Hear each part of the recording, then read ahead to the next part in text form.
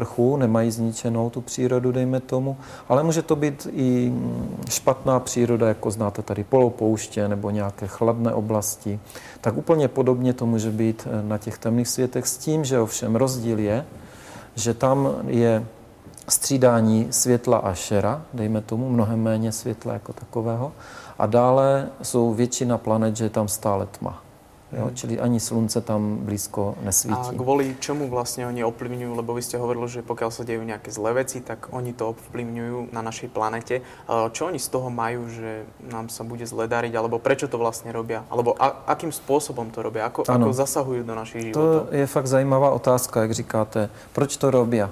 Eh, běžně tady, co znáte lidi, tak každý něco dělá většinou, většinou teda ze zjištných důvodů, že si vyhledává z toho a vykalkulovává výhodu, jo? co z toho mm-hmm. má jako zisk. A ještě nás to tak jako učí jo, ze všech stran.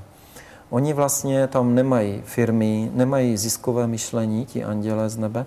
Oni tam nemají prostě peníze, nemají tam eh, takové ty struktury, jak to znáte tady. A jejich hlavní motivace je skutečně nezištná pomoc bližním svým, čili těm lidem, ale pomoc na základě nezasahování.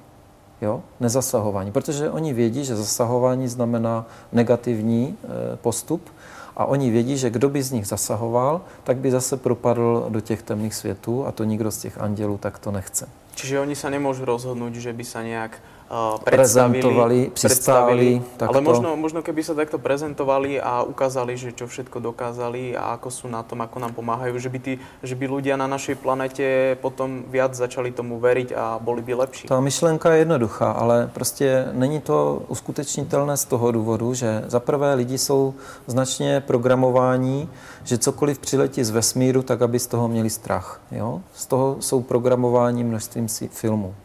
Za další, Anděle můžou přiletět sem takto osobně a prezentovat se i třeba v médiích, ale podmínka je, že mnoho lidí si to bude přát. Jo? Mm-hmm. A aby si to ale mnoho lidí přálo, že tito anděle, tito z nebes, a ne, aby si je nepletli s těmi negativními entitami, no tak ale musí už mít o nich eh, množství informací, musí umět rozlišovat a musí si vlastně, to podmínka, k ním vytvořit nějaký vztah. Jo? Mm-hmm. Čili proto vlastně to eh, probíhá, to, co teď probíhá. Jinak pro zajímavost, eh, ti anděle z nebes kontaktují takovéto světy standardně ve dvou fázích a úrovních. Za prvé se to kontaktuje na základě setkání osobního s představiteli největších zemí, států, a to se stalo v roce 49 na podzim, jak v USA, tak v bývalém sovětském svazu. Čiže už přiletěli a Přiletěli priamo... na letiště a přímo hovořili osobně nějakou dobu s těmito představiteli těch nejvyšších zemí. Vě, to znamená víte, prezident dialog, Truman a prezident, ano vím. Je to právě v té knižce UFO kontakty, ano, a lze si to dál jako dokomunikovat s těmi anděli. Čili byla tam nabídka na spolupráci na základě vlastně zkvalitnění života pozemšťanů. Protože každý viděl a vidí, že tady jsou války, že tady jsou hladomory, že tady jsou různé bezpráví, ano. Takže toto oni měli především na mysli. Ale ani jedna z těch stran na to nepřistoupili. K tomu patří samozřejmě snížení zbrojení. Není náhoda, že teďka za den, za dva přijede Obama s eh, Medvěděvem do Prahy a budou dojednávat prostě snížení stavu strategických eh, raket, zbraní. To není náhoda. To je nějak dohodnuté s nimi. To se teďka do, dohadovalo no spolu, ale ty první impulzy k tomu a osobní prostě návrhy dostali už v tom roce 49, aby prostě nezvětšovali ty arzenály atomových zbraní. Hmm. Lidi se běžně o to nezajímají, já vím, ale ty arzenály těch zbraní jsou strašně, strašlivě veliké Hej, a strašlivě drahé. Strašlivě spoustu peněz to stojí. Jo? Na to ty lidi musí samozřejmě dělat. A vlastně oni by nám mohli pomoct aj svými technologiemi, nie? Pokud dokážu takto uh, bývat. Technologie mají opravdu, řekli byste, senzační. Prostě třeba hmm. vodovod, ano, tak voda teče z kohoutku rovnou do takové destičky, šikmé, ploché, kovové, jakoby na pohled, a v té se ztrácí ta voda a z té destičky zase do toho kohoutku. Jo? Bez trubek takto, bez eh, složitého instalačního zařízení. Čiže ona se někde bez objavuje a tam mizne? Tam se vyčistí v té desničce mm. a rovnou z té destičky jde zase do toho kohoutku. Čili mm, žádné nároky na zdroje, víte, jaké jsou problémy s vodou prostě, jo, v ekologické A majú v podstate tých, tých, hovorili ste, že je tam viac ras, takže primárne táto rasa, kto, s ktorou vy komunikujete, uh, má podobnú stavbu tela ako my, teda um, sú založení na baze uhlíku, vody ano. a tak ďalej. Jo, je třeba říct, že teda jsme začátečníci, jo, ti pozemšťané, kteří jsou začátečníci, tak přirozeně se k začátečníkům přihlásí ty rasy, ty, ty národy, které jsou stejného vzření, hmm. stejné rasy. A to, to tělo, tak jak ho známe, tak oni ho nazývají plejácká rasa. Ano, čili i my máme toto tělo původní plejácké rasy. Takže to je z souhvězdia Plejad. No, to je prostě název, ale těch plejádských civilizací je tam obrovské množství, tisíce. A stretol jste se s nějakou rasou, která nebyla podobná té naší, že Samozřejmě, tak jak tady na tom obrázku jsem ukazoval, tak je tam přímo při setkání více ras. Pokud je tam někdo poprvé, tak může se setkat ano, s tou stejnou rasou, ale eh, v podstatě, kdo je skutečně pozitivní, lásky plný a tam se nikdo jiný nedostane ani, ano, tam se negativní lidi nedostanou, to je podmínka, tak potom on ví, že ten vzhled není úplně mm. rozhodující a navíc on z každé bytosti, to je krásné, eh, dobré, cítí to dobro. Takže jestli má trošku jiný vzhled obličeje nebo těla, to prostě není podstatné. Ale no. v podstatě všechny rasy jsou si de facto podobné. Dvě nohy, dvě ruky, jedna hlava, či? No ne, je to, ne. je to množství těch těl, to je velice bohatý život v tom mhm. nebi, obrovský bohatý život, to mnohem bohatší, než co tady lidi viděli kdekoliv je v nebi. Skutečně velice různorodý a bohatý. Já se chcem spýtať ještě na jednu věc. Mě uputalo na vašej stránke som si všimol, že máte tam uh, tých vlastne tých uh, zástupcov alebo veliteľov vesmírnych flotil a medzi nimi sa objavil aj Ježiš Kristus. Aké on má s tým uh, spojenie alebo prečo ho tam máte? Uh, tady víte, že o Ježíši Kristu jako o určitém pozemšťanovi se hovoří a hovořilo v minulosti mnohokrát, ano? No. Já prostě to taky registruji. A e, mám informaci a prostě setkal jsem se taky. Vím, že prostě je s těmito anděli, ano, v těchto společnostech, že tam vlastně je normálně ta bytost doma, že vlastně tady žila kdysi a je tam a vlastně má určitý že taky úkol poslání, který pokračuje i tam, tak jako tady byl na té zemi.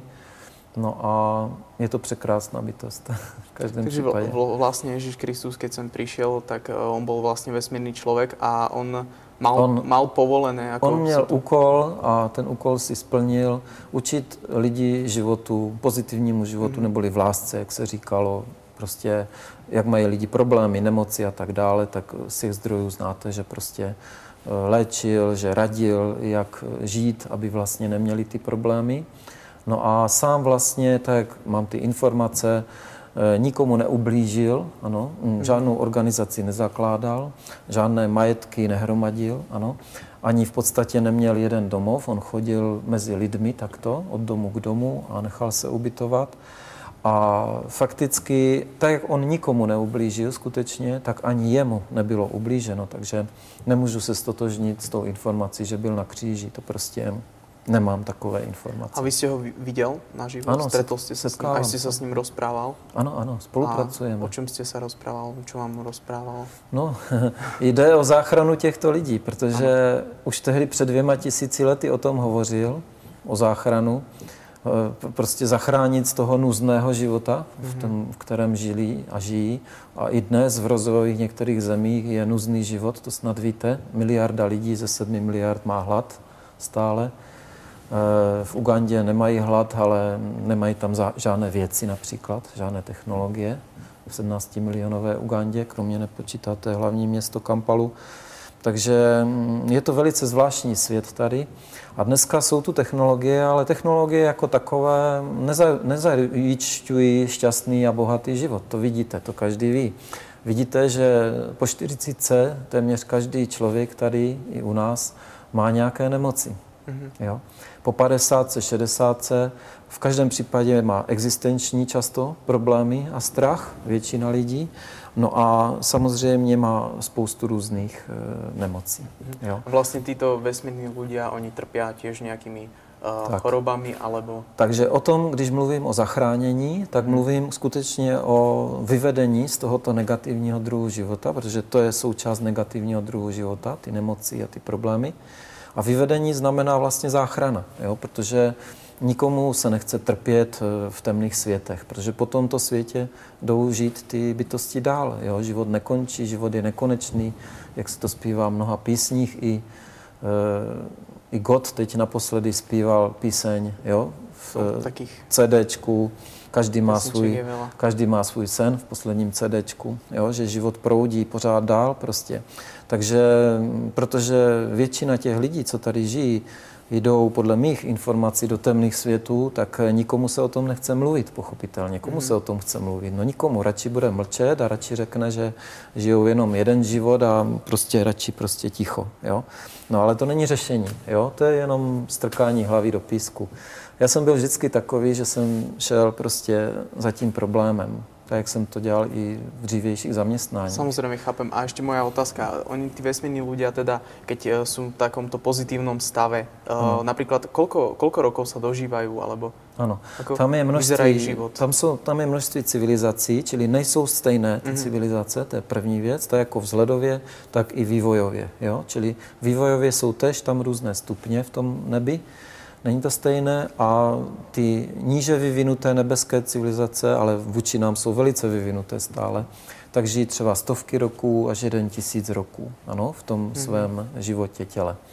Ale potom jsou civilizace, které žijí 5, 10 tisíc, 20, 50 tisíc let v tom jednom těle, anebo vůbec to tělo neodkládají. Jo? Žijí vlastně jakoby nesmrtelně, pořád s tím daným tělem. Mm-hmm. Takové jsou tam velice různé civilizace. Je tam množství stupňů. Čím vyšší stupně, tím del, delší délka života, kvalitnější život, bohatší. No a v mnohem větším množství světla. Mm. Ja. Vy tu máte obrázok, předpokládám, kdo je na tom obrázku? To je tady, tady je takový typický... nejvěrněji namalovaný obrázek mm. eh, anděla z nebes, tedy je to žena konkrétně, z civilizace Noboa, kde vlastně mm, tady malovali malíři určitě, andělí, a ne každému se ho správně podaří namalovat.